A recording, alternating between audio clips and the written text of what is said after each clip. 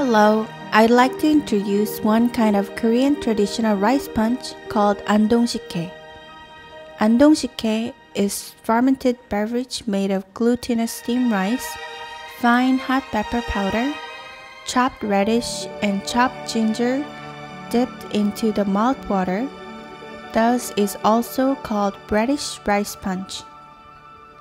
The sweetness of punch, the spicy taste of radish, ginger, and hot pepper powder harmonize together to make a little bit thick and characteristic zipping tang.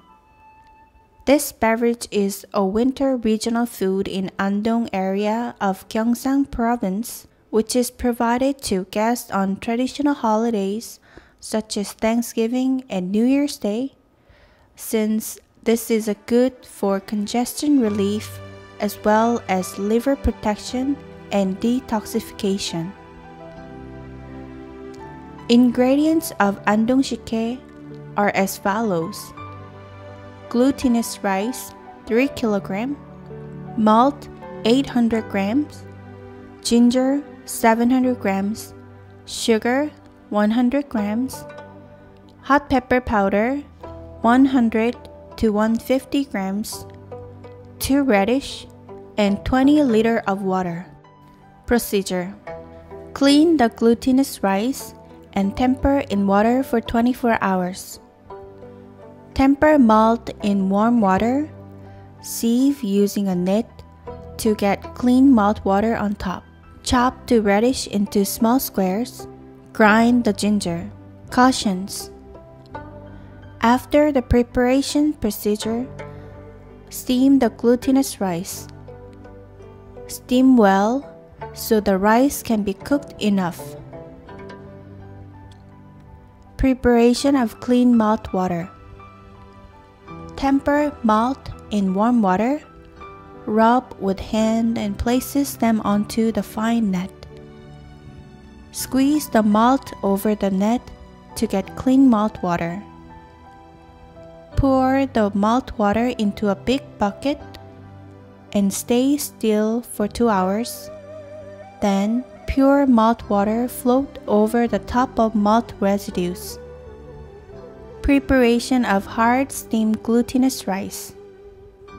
This is the process of preparing hard steamed glutinous rice, which will be placed into the punch. 24 hours enough tempered glutinous rice should be steamed well on the hemp cloth in the steamer. The point to be cautious in the procedure is that the steam should be enough to make the good hard steamed glutinous rice. Preparation of radish. Chop the radish into small squared pieces. Place the chopped radish, steamed glutinous rice, and malt water into a big bucket and mix them well. You're watching the simple procedure using small amount of ingredients. Mix the well-steamed glutinous rice with chopped radish and pour the clean malt water. During the actual procedure, mix the whole prepared ingredients. Next step is making color and adding scent and taste into the prepared rice punch.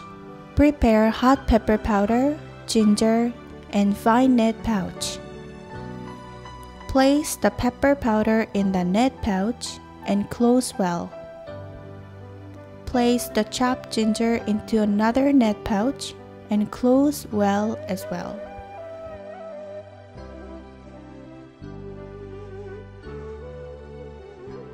Dip the pepper powder pouch into the bucket containing the rice punch and rub it inside to make the red color permeate into the punch and then place the ginger pouch into the punch to make the scent permeate into this time.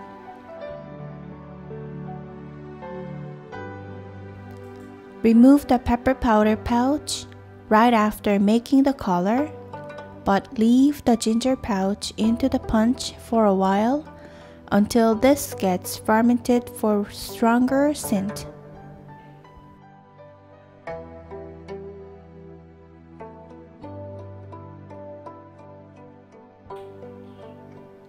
Add sugar for adding sweet taste. It is better to use natural sugar such as zero fruit sugar for your health. Fermentation process the last step is the fermentation process when all the ingredients are mixed together.